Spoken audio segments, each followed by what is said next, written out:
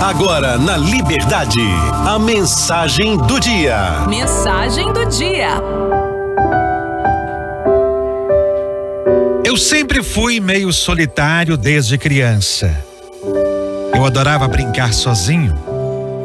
Óbvio que não sou um ermitão e sempre cultivei amizades, mas me reservo um tempinho comigo mesmo todos os dias.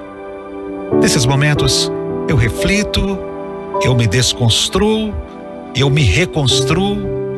É terapêutico.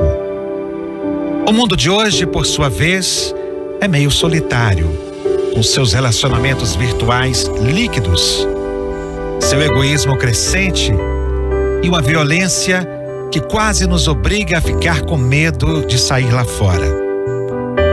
É necessidade essencial, por isso, aprender a ficar sozinho, a contar com si mesmo. Afinal, a competitividade que adentra em todos os setores da vida nos faz hesitar em pedir ajuda, em nos abrir para as pessoas. Hoje, eu consigo me bastar em muitos aspectos, sem precisar da aprovação dos outros, sem ligar muito para o que elas irão pensar se eu fizer ou disser algo. Não consigo mais fingir sentimentos. Expresso o que sinto. Vivo o que sou. Gostou? Fica. Não? Vaza. Se percebo que não sou bem-vindo no lugar, eu me retiro.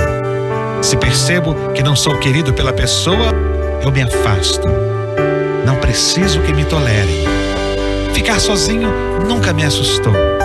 Aliás, gosto muito. Você também deveria gostar.